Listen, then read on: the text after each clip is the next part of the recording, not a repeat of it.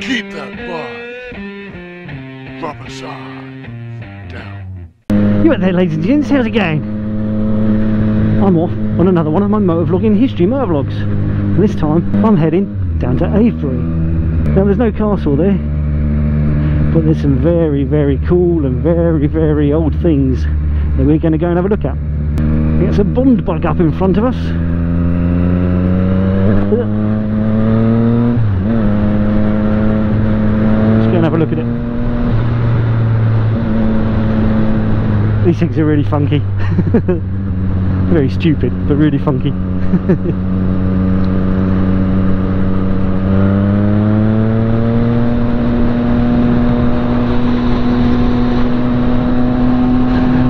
awesome thing. What's really awesome about all of these things that I'm going off to see just now is that they're all free. You don't even have to be part of the English heritage to go and have a look at them. And I think that's just bloody amazing. Now the first place I'm going to go and have a look at is called The Sanctuary. And it's a prehistoric burial type place. We're not quite sure what it is. But it was built 3,000 years before Christ, before zombie Jesus walked this earth.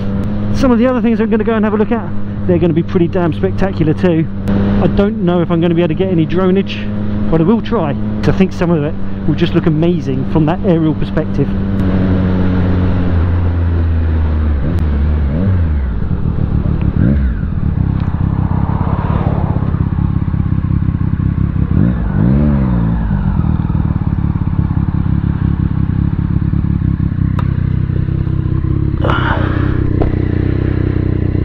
Cool. There's little burial mounds there. Let's go and have an explore. Well, this is quite cool. It's not what I was expecting.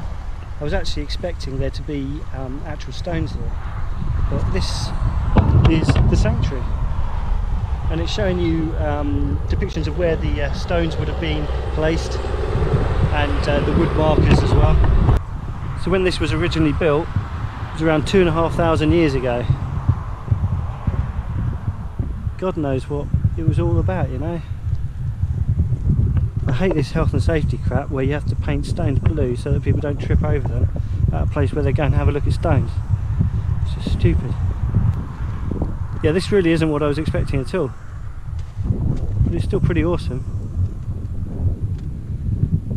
I mean, it would kind of make sense that it was some kind of clock, maybe. But that's only because we have this perception of time and what a clock looks like. But really quite awesome. Just no clue what this would have been all about. I guess they've had some solstice festivals here, or pagan rituals and stuff with the feathers there.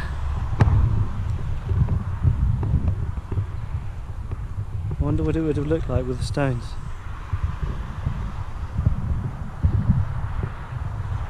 Pretty awesome I imagine.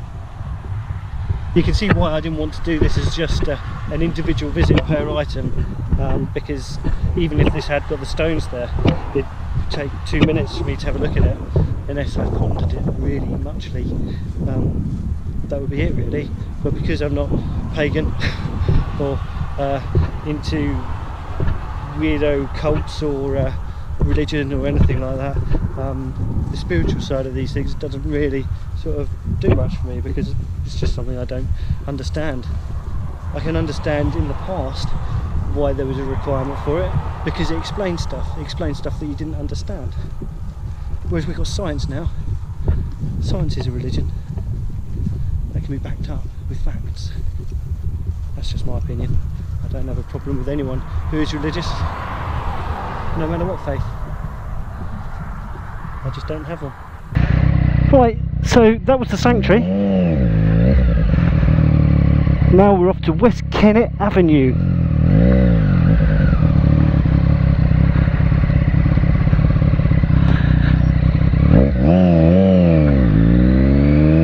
Now then, I believe this one's got stones that we can actually see. And I might not even have to get off the bike.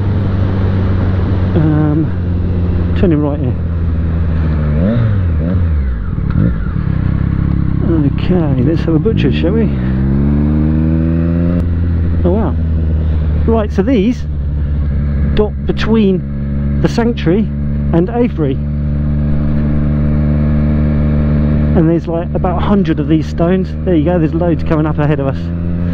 I'm guessing there would have been even more, but possibly farmers and stuff have got rid of them because they were a pain. So we've got a hundred of these stones scattered all the way between the sanctuary and Avebury. And Avebury, oh my word, that's going to be impressive too. I think I deserve a selfie. So this is West Kennet Avenue. How awesome. There's so much work has gone into putting these stones here.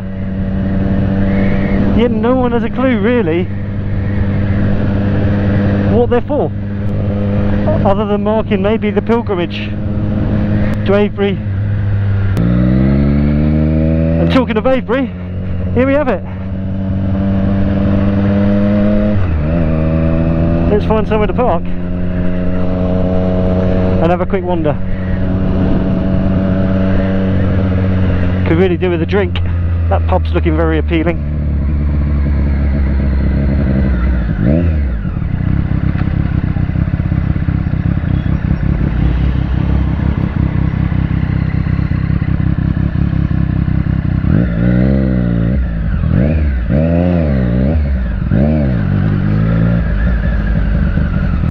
So this is Avebury Henge and it's pretty impressive.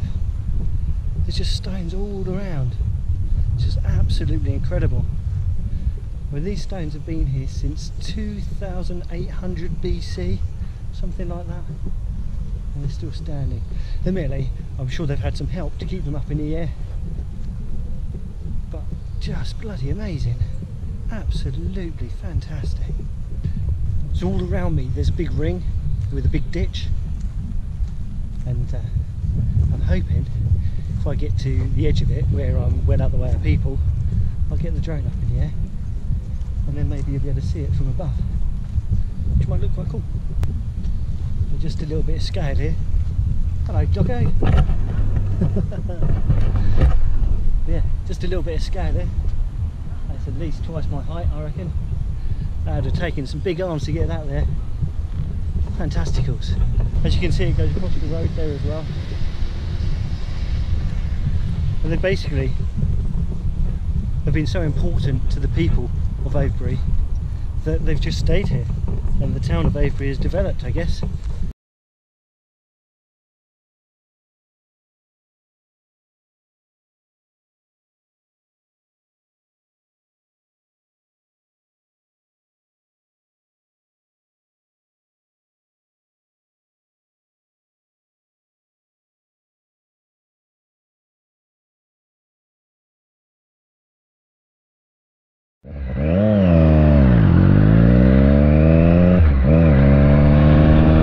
That. Now I'm going to cut my exploring a little bit short. I was going to go to another site over that way but I'm literally melting. Um, yeah, it's really really hot for walking around especially when you've got a leather jacket on and a big bag that I've got to carry around with me. So I think it's best that I just cut this one down a little bit. I'm going to the next one that I wanted to see though um, which is West Kennet Long Barrow I think that's what it's called. And uh, I'm hoping it's signpost because I've got no mobile phone signal so my GPS isn't able to actually search for it. Oh wow that's Silbury Hill that is uh, the largest artificial structure in the whole of Europe I believe. And we've got Long Barrow here as well which uh, okay. Right anyway we're here. Um yes so that's uh, Sil Silbury Hill or something like that.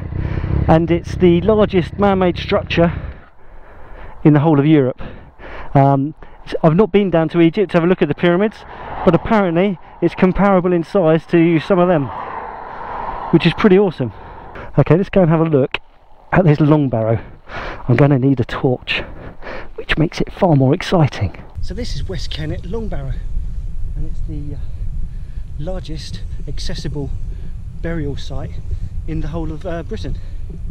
It used to hold uh, 50 dead bodies. Um, 50 people were buried here, and uh, yeah, it's pretty cool, and it's accessible too. So we're going to go and have a look inside.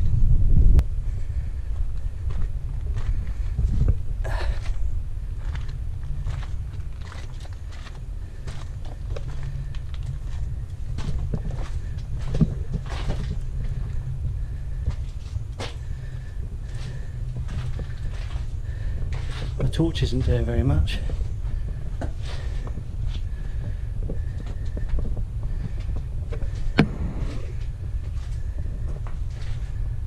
This was quite some work.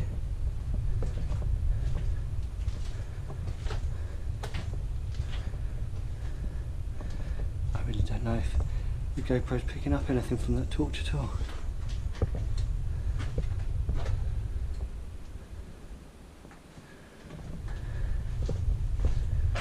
Oh, it's nice and cool in here.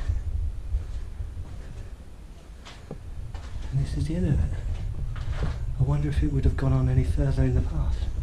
looks well and truly sealed up there. Don't think that was there originally.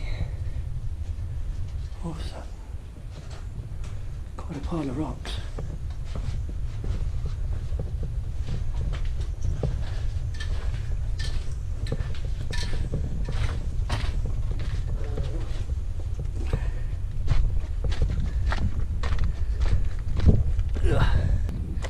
So it's a long barrow that would have gone on much further.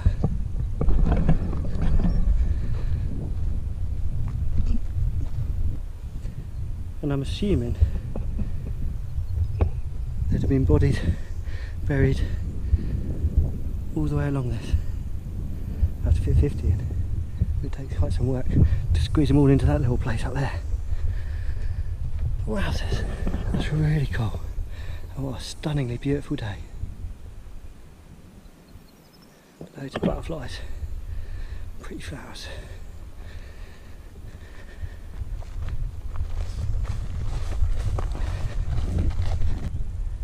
There's Silbury Hill over there.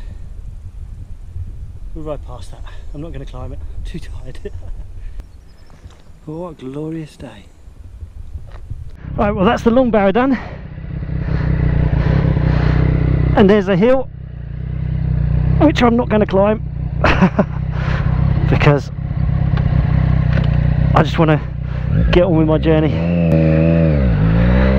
and I'm knackered I'm bloody knackered it's uh, been a tremendous day proper proper adventure but it's kind of cool hill apparently there is no burial there well, that's been known of so it's just a big pile of dirt a big pile of dirt indeed. That would have taken quite a while to make.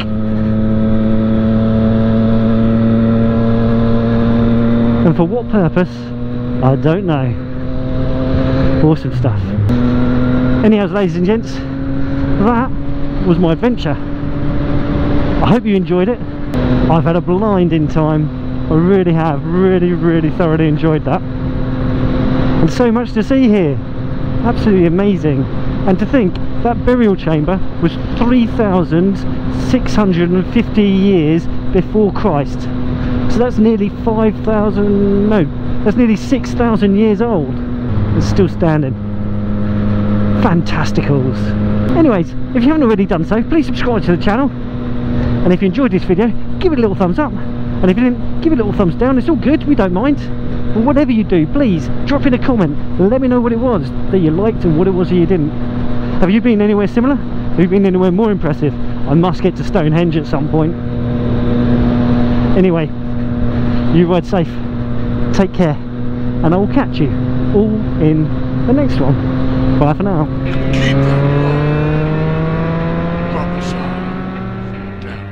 You know, you gotta keep that bar.